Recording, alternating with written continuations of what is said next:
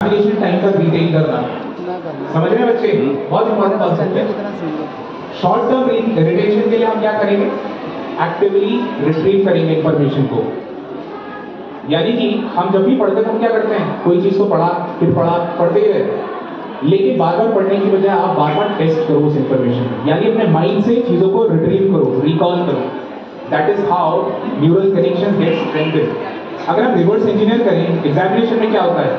एक question paper है। उस पर अलग अलग क्वेश्चन है अलग अलग चैप्टर है। आपने क्वेश्चन को देखा, आप क्या कर रहे हो? आंसर को रिकॉल कर रहे हो। अच्छा मेरे वो नोट्स में उस पेज पे ये था।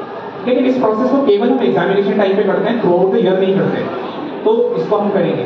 Rather than passive reading you have to go for active recall active retrieval ठीक है? दूसरी चीज़ आती है लॉन्गर टर्म के लिए कैसे याद रख सकते हैं? देखो, एक चीज़ मैं बताता हूँ, मैं भी चीज़ें भूलता हूँ।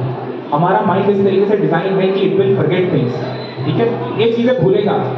हमारे माइंड में एक पार्ट होता है जिस known as hippocampus hippocampus responsible होता है किस चीज़ को हमें स्टोर करना है, किस चीज़ को भूलना है।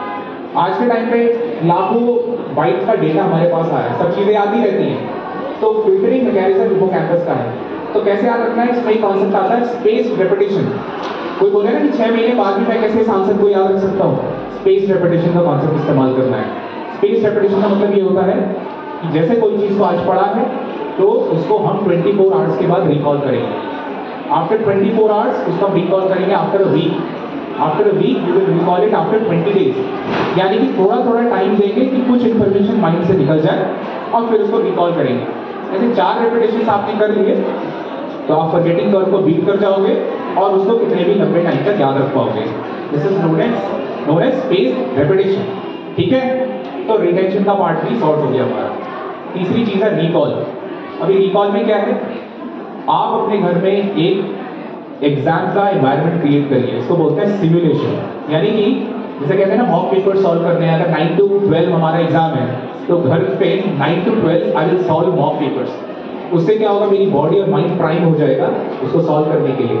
तो जिस एग्जामिनेशन देने जाओगे आपको तो आपको भी मॉक पेपर की तरह ही लगेगा और चीज़ें ऑटोमेटिकली रिकॉल होने लगेंगी। अंडरस्टूड तो रीड रीटेक और रिकॉल का प्रोसेस ये है। और इसके अलावा, सबसे इंपॉर्टेंट चीज़ जो मैं रेगुलर बेसिस पे करता हूँ तो आपको भी करनी चाहिए, वो है प्राणायाम।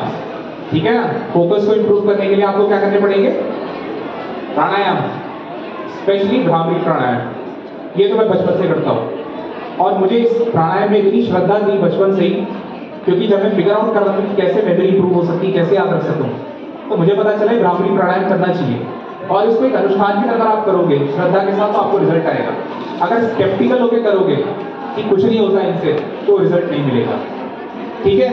तो ये तीन कॉन्सेप्ट है आज रीड रिटेन और रिकॉल के। अंडरस्टूड अभी मैं किसी से पूछूँ तो याद रहेगा? स्पेस रेपिटेशन याद रहेगा?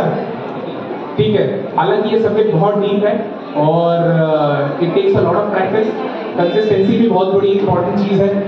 अगर आप कंसिस्टेंट हैं तो आपने इन्वेस्टिंग देखी होगी कि जैसे हम पैसा इन्वेस्ट करते हैं, वो कंपाउंड होता है। उसी तरीके से लर्निंग भी कंपाउंड होती है। कभी आपने देखा है कि कोई चैप्टर है, पहली बार जब पढ़ोगे तो कुछ अलग आइडियाज़ आएँगे। लेकिन आप उसको पांचवी बार पढ़ोगे तो आपकी अंडरस्टैंडिंग अलग होगी, अलग आइडियाज़ आएँगे। तो learning also compound over period of time इसलिए you have to be consistent in studies है ना? तो ठीक है will keep it this much हालाँकि इसमें बहुत सारी चीज़ें हैं। और आप कुछ पूछना चाहते हैं? हाँ? आप पूछ सकते सवाल?